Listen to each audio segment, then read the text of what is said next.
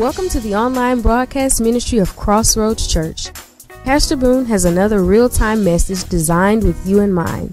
So grab a pen and download our online worship map and let God's Word encourage your heart. Prepare to be blessed.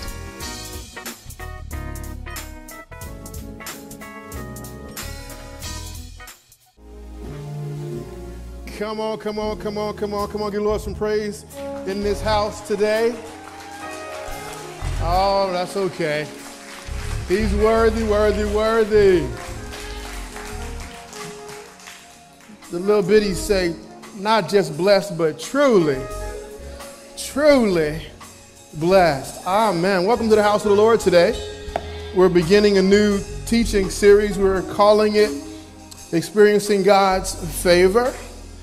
And uh, today's message is a little bit on the interesting side. You know, sometimes you gotta you gotta eat broccoli. Amen. I don't do what is it, Brussels sprouts. I'm not even sure why God made those. And, but He's omnipotent like that, so I'm sure there's somebody that likes them. But um, sometimes messages are sweet like candy, and sometimes they're like Brussels sprouts but it's all good eating if it's, if it's from God. Say amen. Well, welcome to Crossroads Church. We're going to start this series. We're calling it Experiencing God's Favor. And so I got to tell you that, uh, quite honestly, you can't be stingy. Our message is entitled, You Can't Be Stingy and Blessed at the Same Time. It is virtually impossible to be both stingy and blessed at the same time. It's virtually impossible to be stingy and blessed at the same time. I brought with me a few buzzwords that are normally associated by way of introduction with folks who are considered stingy folks. Uh, one of my oldest sons, I would say that he was stingy. He says, No, no, Pops. He called me Pops, which I'm not sure I like or don't like yet, but Pops. I'm like, that sounds like old, and I'm still very, very, very, very much young and good looking. Amen amongst other things. That's all right. You don't have to love you. Amen. But and he said, my wife said, You're good. That's right, baby. I'm sorry, that's first lady baby. I'm sorry, I can't say that at church. He says, I'm not stingy, I'm frugal. I said, that's another word for that is cheap. I brought some words which kind of sort of bear that in mind when, when you're thought of as being a stingy person. Here's some words of negative connotation selfish, cheap. Look at this, it gets kind of ugly. Petty, miserly, a tightwad, a penny pincher, someone who's uncharitable. But my favorite on the list, I think really helps it helps sell it is, someone who's closed fisted. Now, you and I both know that it's impossible to put something into a closed fist. It's virtually impossible to squeeze anything. Whatever's in there is stuck in there, and whatever is supposed to be in there in abundance can't happen because the fist is closed. On the other side of the coin, there are words that are the uh, opposite, if you would, of these that I just gave you, referring to someone who's stingy. They are, you want to be thought of as a person who is altruistic, someone who's selfless, someone who's unselfish, someone who is benevolent, someone who is good hearted, great hearted and open hearted. But my favorite on this list, uh, as opposite to being closed, um, closed fisted, you want to be thought of someone who is free. Amen. Free to trust God and free to obey God and free to expect good things from God. You want to be thought of not as a stingy person, but someone who is free. It is impossible to be close fisted and free at the same time. For some, for some of us, quite honestly, though, I hate to say it, Christians all around the world, and particularly in the United States of America, we've chosen the first list. How do I know that? It's been a standing fact. And of course, numbers are subjective, but it's been stated that less than 3%, say that with me 3%. It's been stated that 3% of those of us who name the name of Christ actually release a tithe to the, to the Lord. That would be 10%. 3% of those who shout and dance and sing and lay hands on folks and do all kinds of wonderful deeds and charitable deeds. And, uh, but when it comes to giving unto the Lord out of a trust attitude or to sponsor the work of the Lord, most of us fall into that first category where we're frugal or we're cheap. 3% of all Christians in the United States. Now, that's a problem for us this morning. Why? Because it's impossible to be stingy and blessed at the same time. And so I want all that God has for me. If, if, if, anyone's with me, say amen heartily. I need all of my favor. I need all of whatever God's got with my name on it. I don't want you to have. Can I be that way this morning? I don't want you to have what I'm supposed to have. Amen. I want all that God has for me, but we often block it. I'm going to suggest to you two short weeks, we're going to talk about this. We often block God being able to give us more because we won't release that He's already given us. Stand in honor of God's word. You should see a passage of scripture, Matthew, I believe it is chapter 6, verse 24 at the top of your worship map. If it's there, say amen. Let's jump in. You can't be stingy and blessed at the same time. If you can't stand on your feet, stand in your heart the word of God to the people of God. Matthew 6. No one can serve two masters, for you will hate one and what the Bible say here? Love the other. You will be devoted to one and you will despise the other. And he narrows it down. You cannot serve both God and money. You may be seated. I mentioned earlier that word is a word, that love is a word, excuse me, that it should be reserved for an exclusive uh, group of people. For example, I am in love with the woman that God gave me as my wife. And amen. I say that publicly. I also say it privately. I was watching her this morning and I was thinking, man, I love me some first lady. Amen. That's okay, y'all don't have to get that. I, I I, you, well, you should look at your spouse or your husband and say, man, I love, I don't like them, but I love me some, whatever their name is. See, love is an exclusive word. You can't apply that to everyone. There are a lot of folks I like, and, I, and, I, and I'll be honest with you, some of us don't like nobody, but amen. But, but for those of us who get beyond ourselves, there are a group of people that we like, and there are some folks that we love. The Lord said in this particular text, that there is a relationship, and I hate to go here with you, but I got to teach you this. There is a, la- a relationship uh, uh, uh, uh, principle in play as it relates to uh, the, the nature of the relationship. You're going to be in love with something and you're going to despise something else. There's no such thing as being able to share love, genuine love, in two places. It's reserved. He said in a text, you're going to either be in love with me or you're going to be in love with the money that comes from me. And so then you and I are faced with a question this morning. If we're going to experience God's favor, we have to come to the conclusion that we can't be stingy and be blessed at the same time. I want to give you some insight as to how to move beyond this, this attitude. You can triumph over what I would like to call the trap of stinginess and experience the full measure of God's favor by doing a couple of things. And what on first on our list this morning, you can you can release God's full favor. Watch this you want to write this down in your worship map, there's a spot for it. By demonstrating a heart of generosity towards God. By demonstrating a heart of generosity towards God. One of the things that's confusing for us, that gets in the way of us being able to release uh, God to fully to God, is, our, is, the, is the block the blockage that says, well, I'm not giving to a church or I'm not giving to a minister. And, and I, I, I had that block in my mindset. I'm thinking, I need to make sure that I'm a better steward than just handing it over. But I realized something later on in my walk with Christ that maturity teaches me that I'm releasing it to God. And so then I need to position myself in a in a place where I can trust that the people of God and the ministers of God are working for God so that I can be a good steward and have a heart of generosity, not toward programs, not toward the mission fund, not toward putting up new lights in the sanctuary, but toward God, a heart of generosity toward God. Take your Bible to the, to, the, to the book of Proverbs. You're going to keep them out, and if you got your electronic version, keep them out today. You're going to be, uh, they're going to get a lot of work. Proverbs chapter 11, verse 24. I'm reading from the New American Standard Bible this morning. we're talking about generating one of the ways you overcome this whole this whole tightness and become more free closed fisted and become more free is by demonstrating the heart of generosity towards god proverbs chapter 11 24 there is one who scatters yet increases all the more there is one who withholds what is justly due and yet it results only in want the generous man will be prosperous and he who waters will himself be watered. Notice this well worn uh, concept, this principle that we know as soaping, uh, sowing and reaping in this particular text. It, sowing and reaping is a simple principle. It literally means you cannot harvest what you have not yet planted. It would be kind of odd for a farmer to go out into the fields during the harvest time after not, lay, not having planted one seed to stand there at the dirt thing and asking the question, why isn't anything growing? He would quickly be out of business because he didn't understand the principle. Uh, let me help you out. Let me, let me, let me bring it to a modern, a modern day illustration.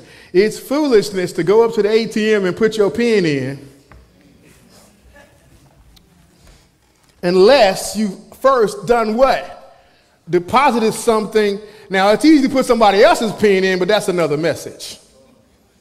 You cannot tell me that, you, that you're going to have an expectation to go up into the bank and you know you hadn't, oh, the bank account been, been, been dormant for years and you're going to pull out the card and expect something to come out.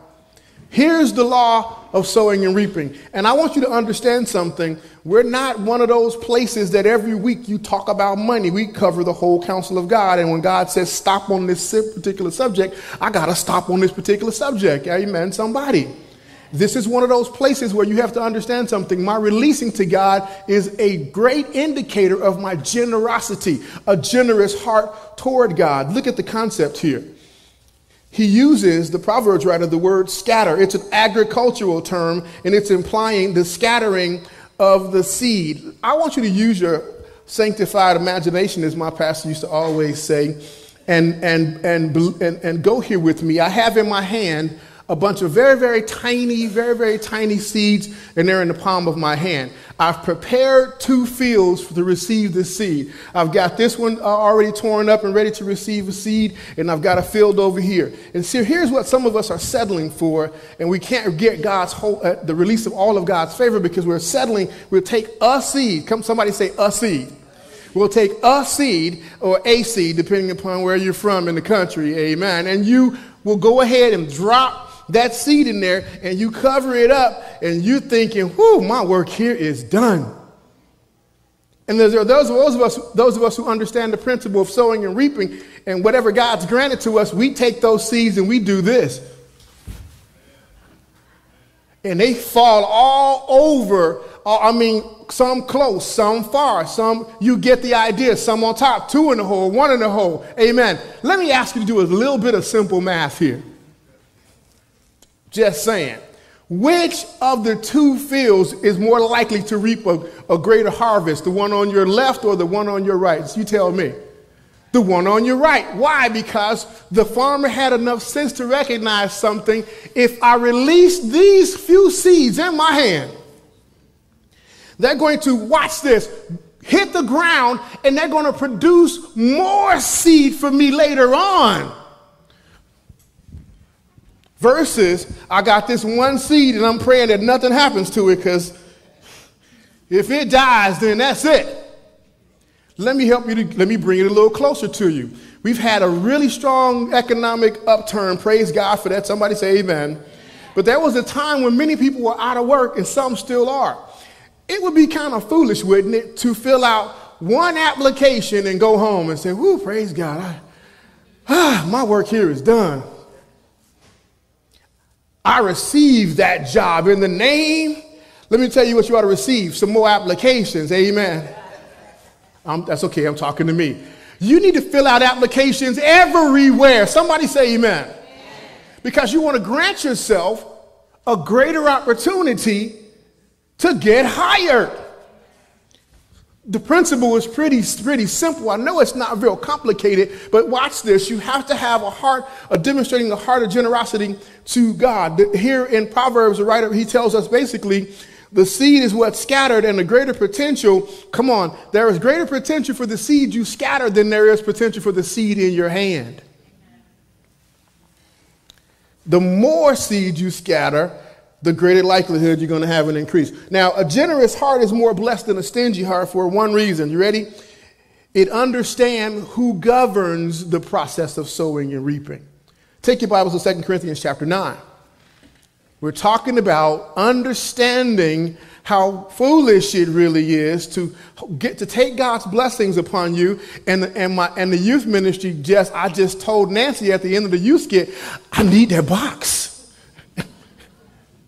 It's, the, it's, it's incredible. God has a blessings box that's filled with things. I wish you could see this. It's filled with stuff.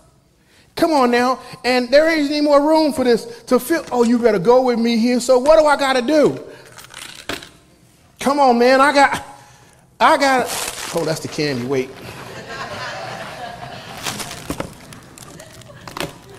Now, some would say this box is empty now. I would say this box is ready now. Oh, that's okay. You get that yet? Some of us are busy walking around. I, I gotta keep, I gotta hold on to my box because God going, I, you know, I won't get another box. You know, it's a tough year this year. You know, everything I need to, oh gosh, it's a, I'm gonna hold on to my box and I'm gonna sit it right here. My blessing box. You know, that's my blessing. I'm, I'm blessed, y'all. I'm blessed. And there is a warehouse full of boxes. I wish you get this illustration. I'm taking too long to help you to see it. You have to be willing to empty out this box before he can put anything else in it. Somebody say amen. Second Corinthians, I want to show you something. I'm going to put the stuff back in here because I'm gonna, I think we're going to use that again. What happened to my nail? Can I have that back, brother? They blessed me so very much this morning. I'm going to hold on to this. This will come in handy here directly. Second Corinthians chapter 9, verse 6. Are you there? Say amen. Watch this. Now, this I say. Don't miss this. He who sows sparingly, come on, talk to me, does what? Reap sparingly. And he who sows bountifully also does what? And this is the beauty, verse 7 of New Testament giving. Each one must do as he has purposed in his or her heart, not grudgingly not under compulsion because God loves what kind of a giver? See, this isn't this you you're not to like it, but giving is a heart issue, not a financial one. And some of us are closed down. Come on, that's okay. I'm still to keep hammering at the hammering at the door. When your heart is generous toward God, you know something about Him. He has a blessing box with your name on it, and all He's trying to do is release it to you. But I get it. People have misused the principles over the years, and folks have taken and bought Lear jets and all kinds of foolishness. But I'm talking about your, I'm talking about granting to God what is due His, so that He can continue the work where you are sitting. Come on, the landscape of your life has changed drastically. This is my opinion since you've been a part of Crossroads Church. If anybody believes that, say amen. Things look better than they used to. You have more clarity. Even when things go wrong you feel, come on, am I by myself? God has moved, I know for a fact, God has restored marriages and healed folks, and He has brought relationships back together, and He's moved away relationships that weren't good for you. I know He's done this. So then your heart of generosity shouldn't be the place, shouldn't be an issue. It should be whether or not you truly think God is trustworthy or not. It's tough, but it's fair.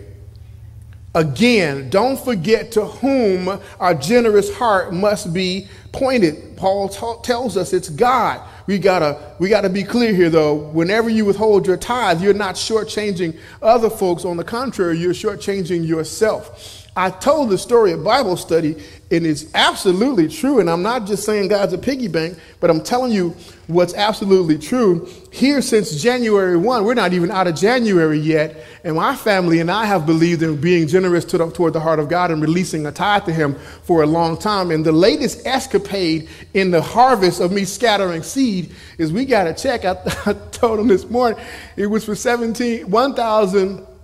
$1,766.88.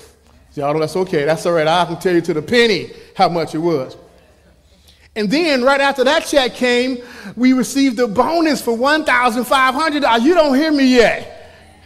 That may not mean a lot of money at your house, but we, we heard Kevin go boom, boom, boom, boom.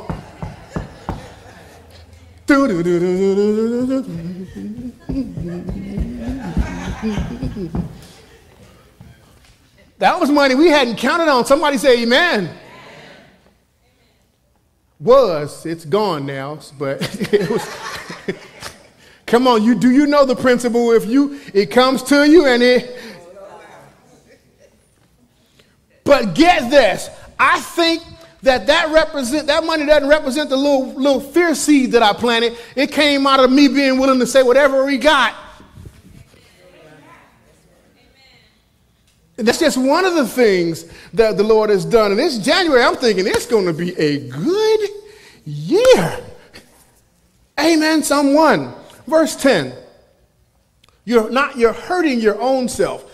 Now, he, God, who supplies seed, I'm sorry, God is the one who supplied seed to the sower, and he also supplies bread for food, will supply and multiply your seed for sowing and increase the harvest of your righteousness.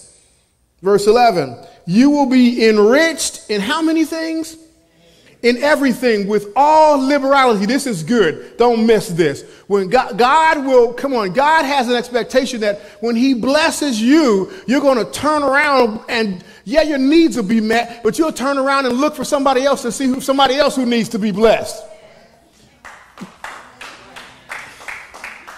This is what God wants from us, not just to give you more stuff. We've been, we, we've been, we've been duped to believe a lie that God's a lotto machine.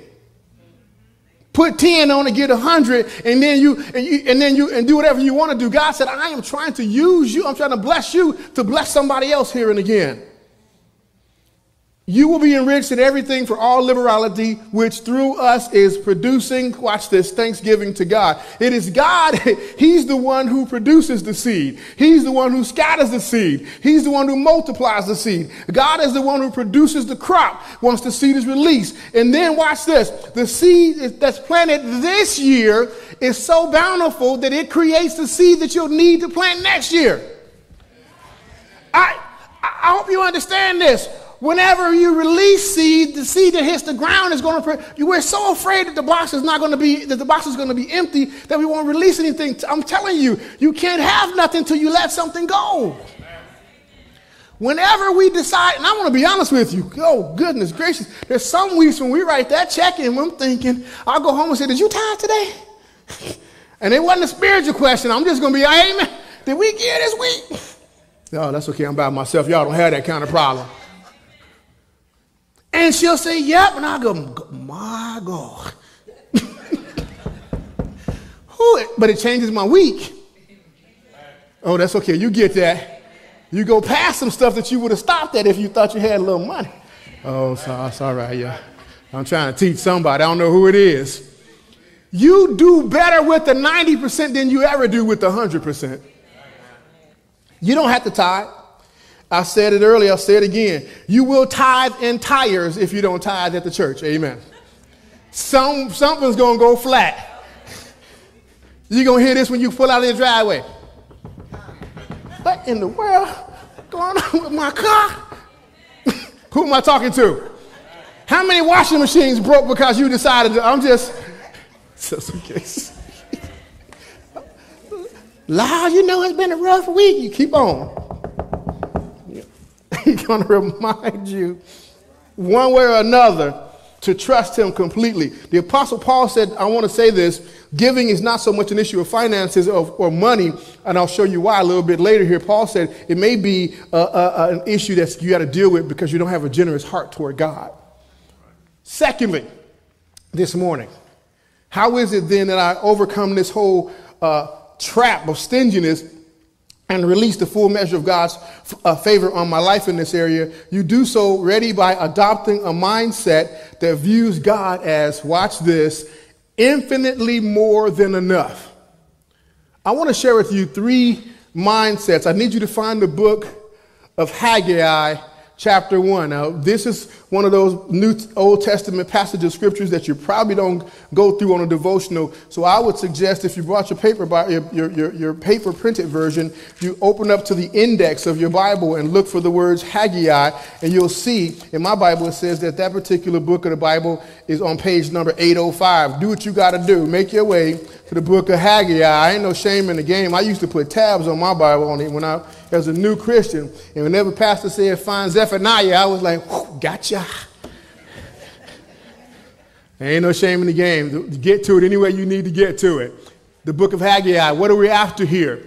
You and I have to adopt a mindset in order to release God's complete favor on our life. You have to come to the conclusion that He is infinitely more than enough for you.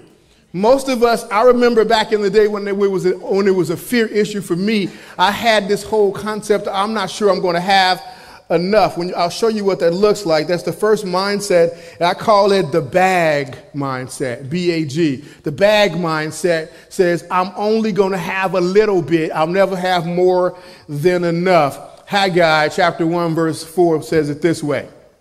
The Lord says, is it time for you yourselves to dwell in paneled houses while this house lies desolate?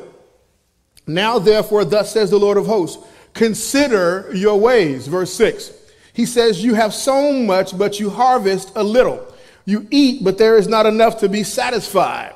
You drink, but there is not enough. The New American Standard Version says there's not enough to, to become drunk. Now, let me pause right there. I didn't, Pastor Boone did not give you permission to go home and say, the Bible said I'll drink, but I didn't drink enough to get drunk. I need to fix that. That's not what I said. He's saying that you only have a little bit. Watch this. You put on clothing, but what does your Bible say? But no, but no one is warm enough. You ought to get this. Who earns earns wages to put into a purse with what? Holes in it. Don't get this. Watch this. Don't miss this. This is incredible. How, how many of you resemble this particular verse? Not giving to the Lord, he says, consider your ways. Not giving to the Lord is like filling up a bucket, with, uh, trying to fill up a bucket with two or three holes in it. You can pour all the water you want into it, but it's going to be a waste of time. How many, how many of us have earned our paycheck? Am I talking to myself? Only to be broke after we can leave the bank. Oh, that's okay. I'm talking to me. How many of you wait two weeks for your check coming, then when the day it hits, you already don't have enough? Oh, I'm talking to me. We, how many of us, we, we got clothes, but we don't have enough clothes. We got a car, but we want a better car. We got a TV, but that's too small. I'm eating, but boy, I wish I had some of that other food that we had last time. We get to the place where we think we, we, we're never satisfied with what God is currently. I, I've had children with a mouthful of breakfast, chewing and can hardly talk, and say, What's for lunch?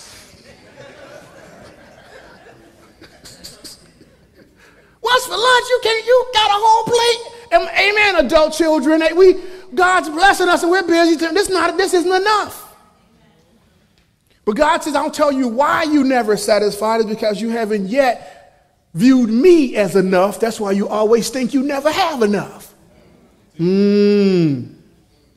Notice the thing. The more you have seems like the less you have. Here it is. When God's house becomes second to your house, it's like pouring water into a bucket with holes in it with an expectation of walking away with a bucket full of water. That's that bag mentality. That'll give you another one. Number two, the basket mindset. The basket mindset. Take your Bible to Deuteronomy chapter 28. When you have the bag mindset, you're concerned that you'll never have enough. And God said, You're right. But until you trust me, you will never have enough.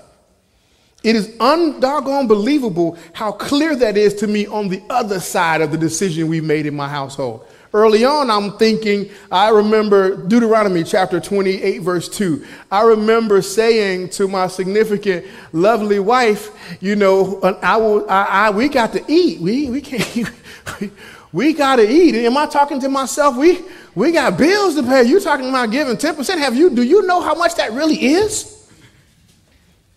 And I never forget, I tell you this every time we talk about it. She said, Well, how much is enough? How much will you trust God with? I said, Now you got jokes. Now you ask, now you saying I don't trust God.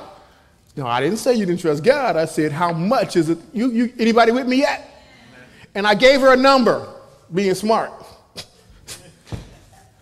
we trust God for $50.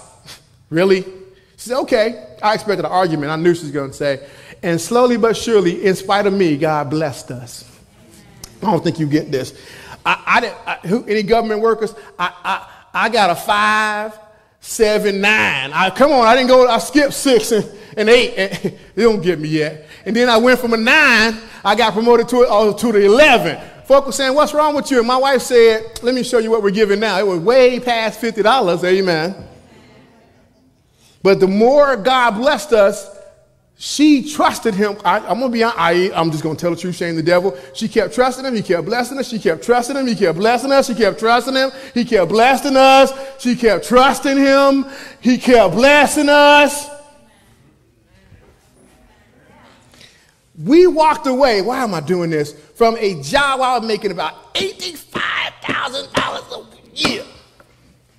Somebody said. I heard somebody say, mm, "That's what I said." I said, God, you want me to do what? He said, You heard me. I said, But I, I, I got to retire. I got stuff to do. He said, Nope, do this and do it now. And my salary the day I became the pastor of Crossroads Church was cut in half the day I left my other job.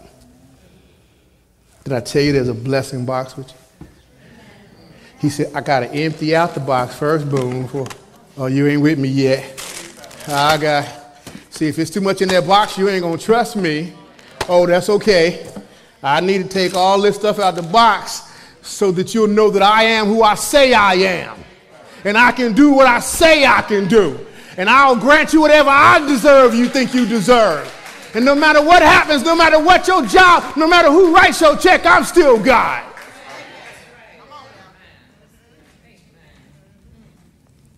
And I said, A Man, still ain't making more more than 45, but God's good.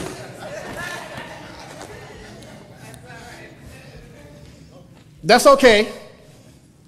When you have a basket mindset, you understand Deuteronomy 28 and 2 that God is more than enough.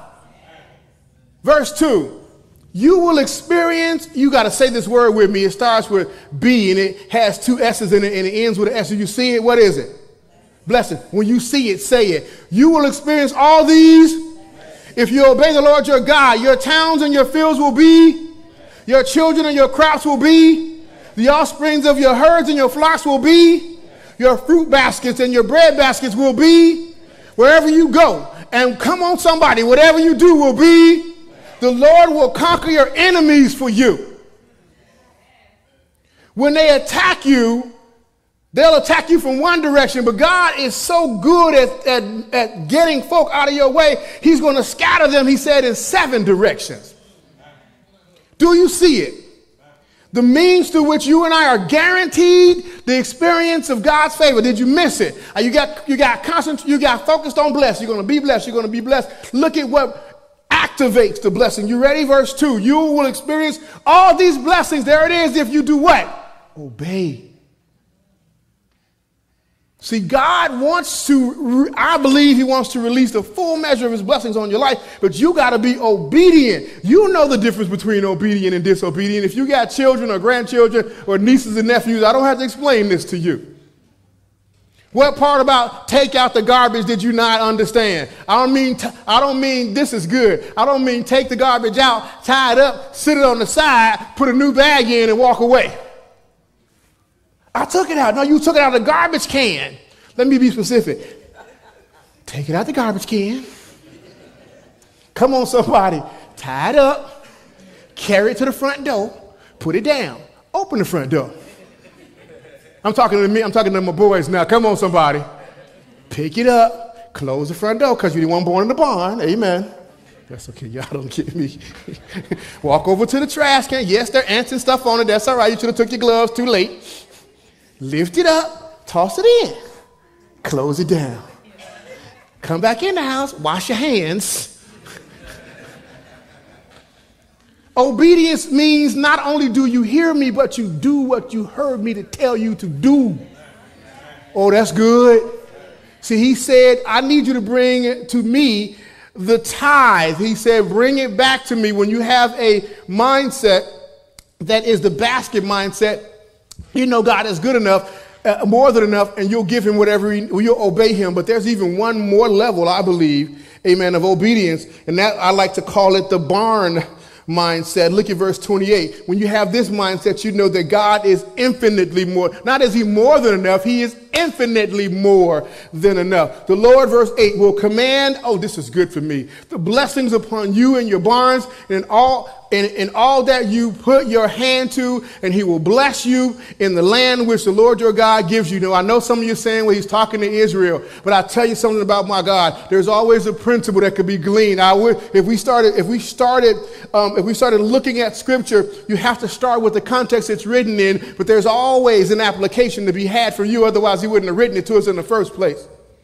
Look at what he says he'll do regarding the, the, how the blessings are coming upon you. He says, I will command this. The word command here means I'm going to lay a charge upon. He literally says, hear the words, I will instruct your blessing to fall upon you. I will decree that a blessing fall upon you. I will give charge to a blessing to fall upon you. I will ordain a blessing to fall upon you. I will assign a blessing to fall upon you. There was a check for 1,000.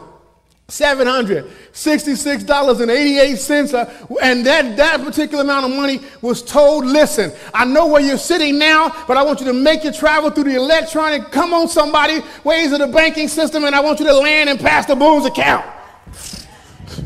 And I, I, and I didn't do anything. All I did was just throw the seed up and turn and went on about my business. And meanwhile, the seed was come on somebody, and that wasn't enough. We were celebrating that one, and another one came for 1,000. You don't get me yet. God said, leave where you are. Do you get it? When you obey God, he'll say, leave where you are blessing and go to where they are. Here's the question on my table for you. How many blessings are stacked up in holding, waiting on you to do what you're supposed to do? We've been over here months and he just, that blessing just showed up and he gone. What kind of folks do we have? Don't even want to release the blessing. You walking around with seeds in your pocket.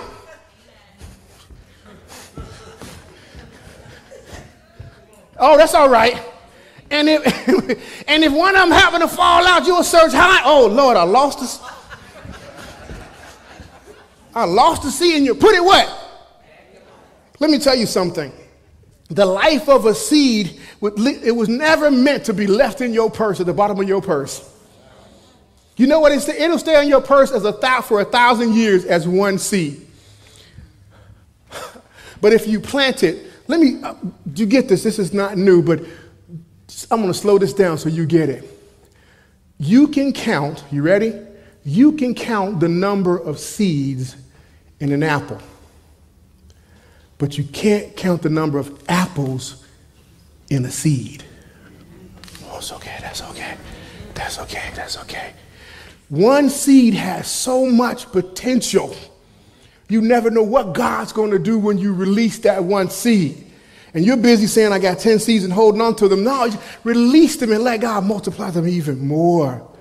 I love Deuteronomy. He says, I'm going to command the blessings to follow you around. Finally, this morning, if you're going to move beyond this whole concept of being closed fisted or the, oh, the burden of stinginess, the trap of stinginess, and if you want to experience the full measure of God, you can do so, ready? By proving yourself trustworthy enough to affirm his favor. Proving yourself trustworthy enough to affirm his favor. I hate to dump on my family so very much, but they are such good sermon illustrations. I have two teenage, I had, they're grown men now, two teenage boys. At, at 16, I released my car keys to one of my children and said, See you later, sir. God bless you. What time you coming home? I had another one that said, I'm 16. And I was like, No way, Jose. you are not getting my key. Well, at, here we go. At 16, you allowed him to get the keys? That's not fair. And I said, favor ain't fair. Come on, you know what it's based off of many times? Trustworthiness. This is a boy who I said, quit flying down the hill on the bike, you're gonna kill yourself. And he waits, waits till I'm looking out the window. it's All right, I see you. Watch out for cars. okay. And so when he said, I'm 16, do I get the keys? No way, Jose. Why? I said, because you haven't proven yourself to be trustworthy in the small things that I've asked you to do. And you want me to release a two ton vehicle in your crazy possession? No, sir. How about you?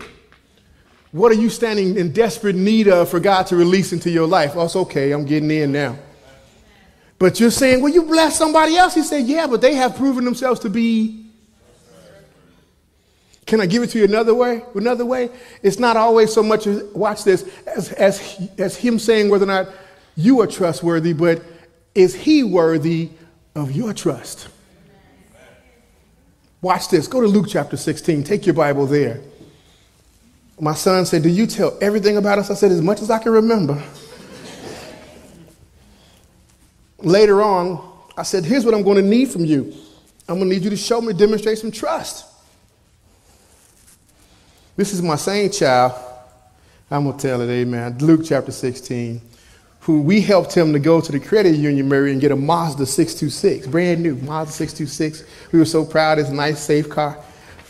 Mm, maybe a month, maybe two months later, he drives up in a Camaro. I, I traded that in. Really?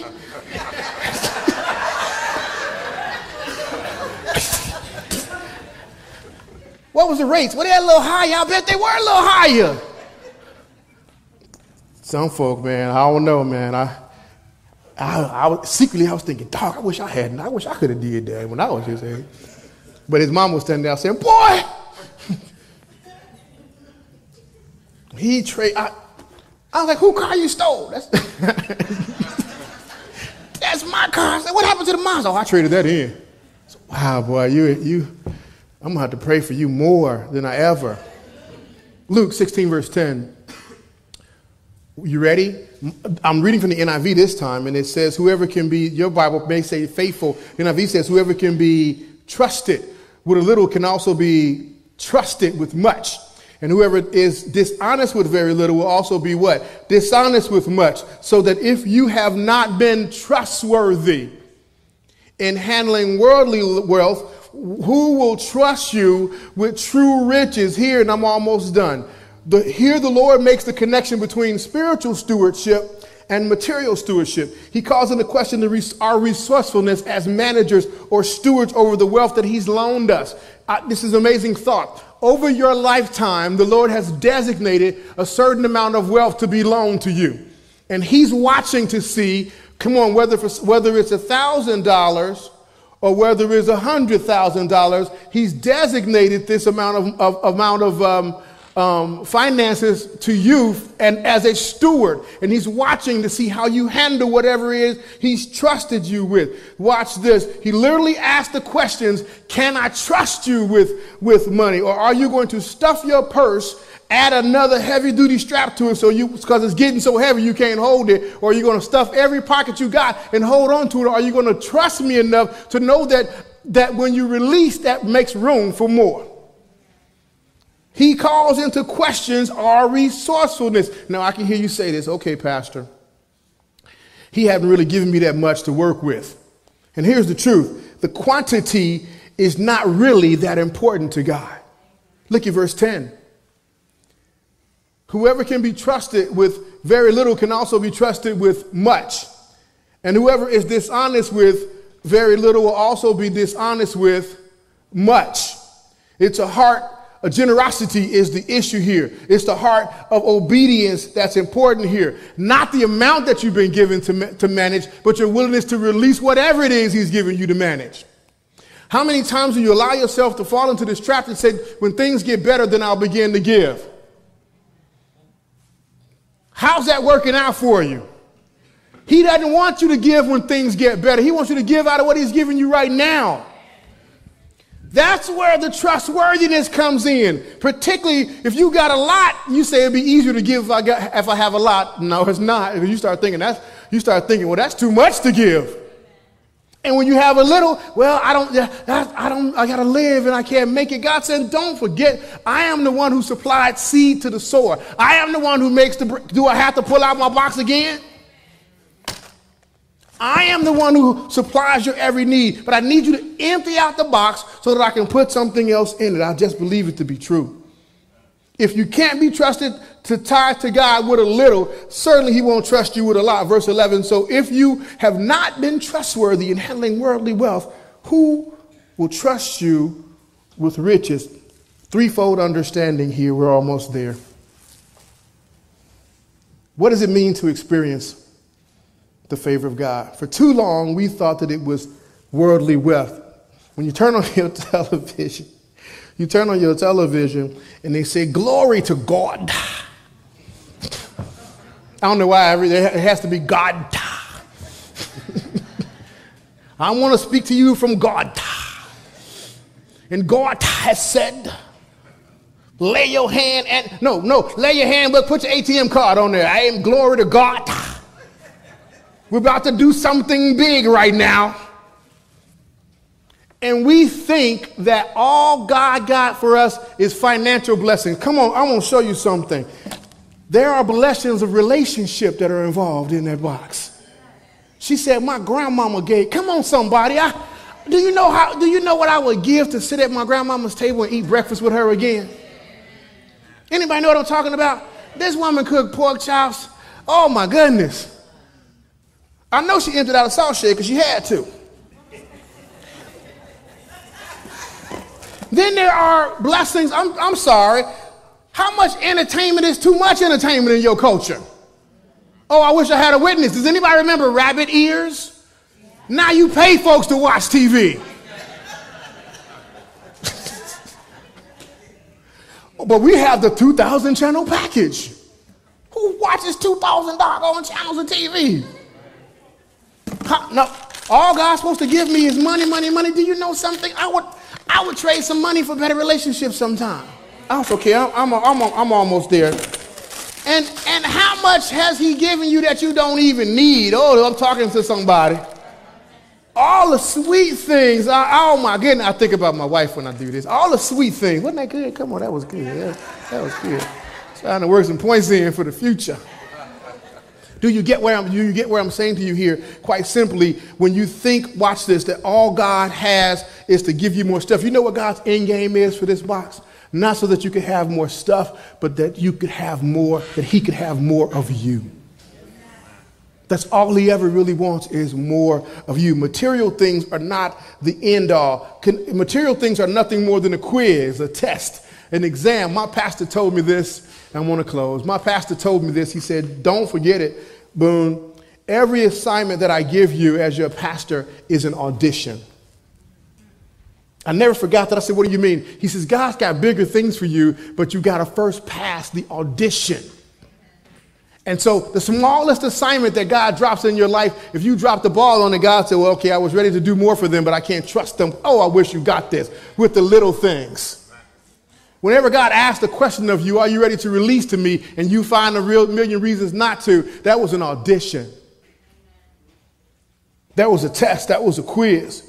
When you love, I want to end this. When you love and trust God more than you lo- love and trust money, then you'll experience the fullness of God's favor. The conclusion. God has a sharpie in his hand, and he's going to reach down from heaven, and you and I have the tag on our shoulder, on our on our breast that you know the tag, the name tag, who you are. And, and so God, this is my, my, my thinking. God's got a Sharpie in his hand. And when he reaches down from heaven to write based on this message today, he's going to write two things on the front of your tag. He's going to write Either one, this is my child who is closed fisted, or this is my child who is free. I want God to look at me. I wish you got this. and understood. He says, That is my child, and he's free. Oh, come on, someone.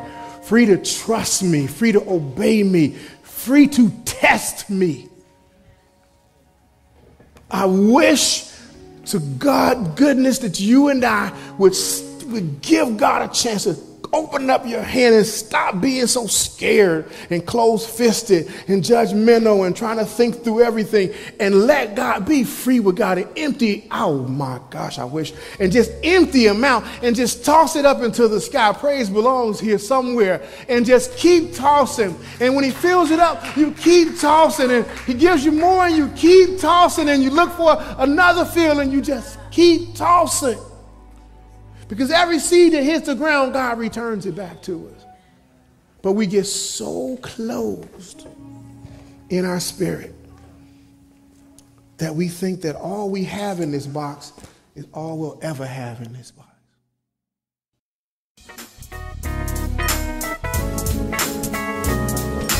It is our prayer that today's word encourage your heart, enrich your mind, and refresh your spirit. If Pastor Boone was a blessing to you today, please consider giving an online donation so that Crossroads can continue providing real life answers for real life change.